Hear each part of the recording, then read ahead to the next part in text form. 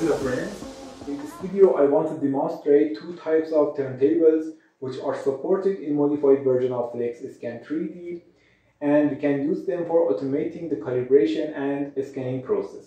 The first one is the, is the famous dual axis RevoPoint turntable which is available in the market and you can use, use it for uh, scanning medium size and big object sizes but it is not uh, the best solution for macro scanning and scanning objects with uh, dimensions less than 5 centimeters. In further, I will talk more about this limitation and also during this video you will see how it uh, works in the modified version of FlexScan 3D and you will see its performance in the software. The next turntable I want to introduce here is our die-kit solution. We have named it Arisa. Arisa is a Persian name and this turntable is specialized and customized for macro scanning, usually for scanning parts from 1 millimeter to 10 centimeters. And it has very stable structure, smooth movement, acceleration, deceleration, zero backlash, and also zero clearance and so it can accurately position the, uh, the object on it and leads to accurate scan, scans alignment in the software. Uh, Arisa turntable is available as a die-kit solution so you can make it yourself and we have provided the CAD design of the table, codes and also a full instruction to help you to, uh, to make it yourself and um, also it is available as a pre-assembled device you can purchase it directly from us. It has a controller, 4-axis controller. This turntable has two axes, but uh, its controller is a Arduino and CNC shield controller, which can uh, support four axes simultaneously. And uh, so you can make your own customized turntable with, with any shape and geometry and use this controller to drive your own turntable and communicate, communicate directly with the software. Now let me make a comparison between these two turntables and let's see for what application they are, they are more suitable and have better um, performance. Uh, first, RevoPoint turntable. As I already mentioned, it is a good solution for scanning medium size and big object size, uh, but not for uh, macro scanning. Why? Why it is not good for macro scanning? Uh, consider this pen as the rotation axis of the turntable. If you put this pen on the rotation axis of this table, uh, there is a parameter call, uh, called eccentric or out of uh, center uh, parameter. That means the distance between rotation axis and uh, the center of the object. And the best value for eccentric parameter is zero. That means it is better to keep the object on the rotation axis of the uh, turntable because when the object is on the rota uh, rotating axis and the table start moving and tilting, the distance between the object and the uh, scanner and cameras will kept constant. No huge changes in this distance you know uh, the focusing range of the cameras and the, the calibration range of the scanner is a percentage uh, is a per percentage of the distance between the object and the scanner. And for macro scanning, when you are placing the object closer to the scanner, usually uh, in distances less than 30 centimeters, uh, the focusing range of the cameras and calibration range of the scanner is very few centimeters, usually 2, 3 or 4 centimeters. And if your turntable has a big eccentric uh, parameter, when uh, the turntable start tilting, start tilting, um, it run out, it run the object out of focusing range of the cameras and calibration range of the scanner. So uh, this turntable is uh, used usually for scanning bigger objects uh, from longer distance, usually uh, from 50 centimeters or more. Fortunately, we have considered this problem on the Arisa turntable and uh, on horizontal turntable, object is always on the rotation axis of the turntable. So the distance between so the distance between the camera and the object is always uh, fixed and constant, even when the uh, turntable start tilting and moving. You can see clear, clearly. This is the first major difference between these two turntables and the second problem with this RevoPoint turntable is this clearance and backlash. You can clearly see it. This backlash and clearance is not uh, noticeable for scanning bigger objects when you are uh, when you want to scan a 10 centimeter object or uh, more. But when you want to scan a small object, usually one centimeter object, this backlash can lead to misalignment of scans in the software. Uh, anyway, uh, FlexScan 3D software is a powerful software and uh, by using its um, fine alignment method, uh, it can overcome this issue too. But um, it is not uh, ideal.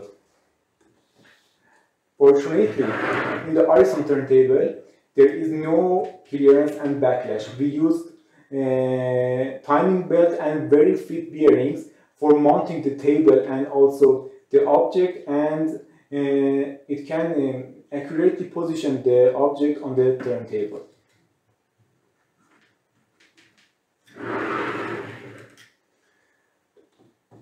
The third difference between these two turntables is the width of the table or bed, bed of the table.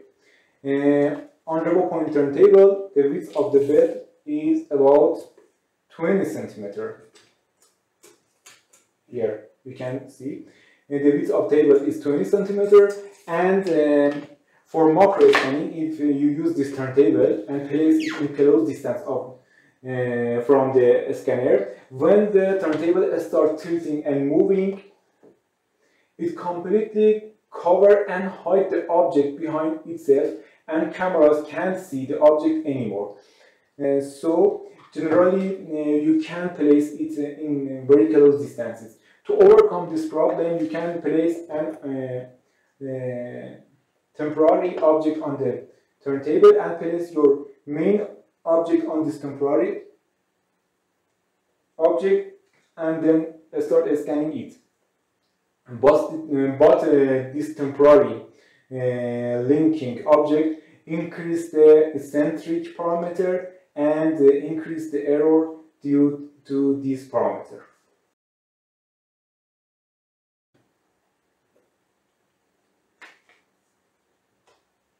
In the horizontal table, we have used a chuck for holding the part. Here you can see it. It is very easy and fast for using. Place and pick up in less than 3 seconds and it is very stable. No movement and no clearance. So cameras can see the object at, at any angle from different views. And uh, for the fourth difference between uh, these two turntables, I want to mention the tilting angle limitation uh, of the RevoPoint turntable. It can only tilt for uh, minus and plus 30 degrees, not more. Uh, and if you want to scan a complicated object like a miniature, you know, uh, miniatures are very complicated and have uh, lots of details and uh, you must scan them from uh, very different angles and views uh, to capture all geometry and details. This, this, this turntable can't handle this process because it has its tilting angle is limited to uh, plus and minus uh, 30 degree. Uh, and in horizontal table, I, I, want to mention, in horizontal table, there is no uh, limitation for tilting and moving. You can see here, horizontal table can move and rotate for unlimited angles. Okay, now, but uh, anyway, for scanning medium size and large object uh, sizes, uh, RevoPoint turntable is a good solution. And also I see uh, many interests for this turntable because it is uh, ready to use and it is very simple. Uh, it has very simple wiring too. It only have it only has one power port and here is the cable. The power cable connect to the power point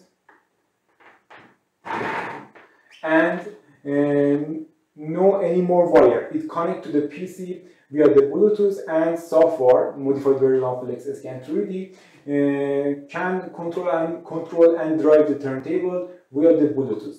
And now let's start using it in the software. Uh, for running the turntable, press the button on it and leave it for some few seconds uh, to have it in the um, home position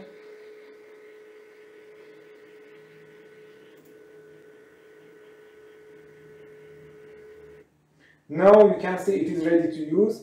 Uh, and uh, here in the software, we can uh, manually or, or automatically uh, control and drive the turntable. For manually controlling uh, the turntable, we can use the GUI here. Now turntable is connected to the software and the LED is not blinking anymore. Now uh, for starting and it is. Uh, I want to tilt the um, uh, turntable for 10 degree. Now it is tilted, you can see. Now for more 110 degrees. And then one for more 10 degrees. It is the max uh, tilting available on this turntable uh, totally 30 de totally 30 degrees and uh, now uh, we can return it to the home position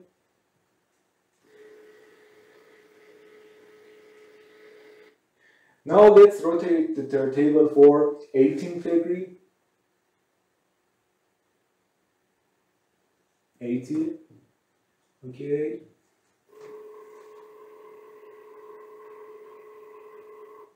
Now let's uh, I'll tilt the turntable for uh, 10 degree, for 20 degree. It is more visible.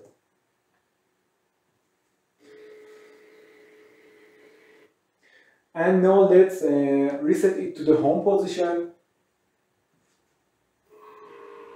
You can see both axes are working simultaneously uh, perfectly.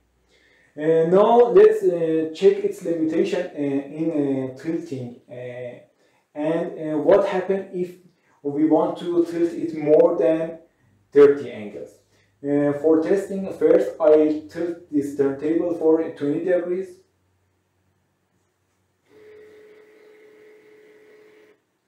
Now, if I want to tilt it for uh, one more 20 degree, that means totally 40 degree, let's see what happens. You can see nothing happened. No error on software and no movement on the turntable. The uh, software detects this limitation uh, itself automatically and uh, don't allow to move the turntable for more than uh, 30 degrees. Uh, and also the software will not uh, be confused about alignment of the scans and it only ignore this comment for tilting it more than 30 degrees. Now let's reset it to the home position. And it is ready to use. Also, you can use this turntable and also the Arisa turntable uh, via the S scripts for automating calibration and um, scanning process. And you can follow um, the YouTube channel and see my other videos for these purposes. Uh, as a conclusion, the RevoPoint turntable is a good solution for scanning medium size and big object sizes and when you are placing the when you are placing your turntable and your object in a more far distances, usually uh, from 50 centimeters or more. Uh, it is fully supported in modified version of FlexScan 3D and available in the market. You can easily buy it and start using uh, in the software. It is plug and play, only one cable and connect to the PC via the Bluetooth. The Arisa turntable is specialized for macro scanning. If you are interested to scan small things with high details and uh, fully automatically for accurate scanning, uh, the Arisa turntable is a good solution. It is available as a die-kit solution and also pre-assembled devices.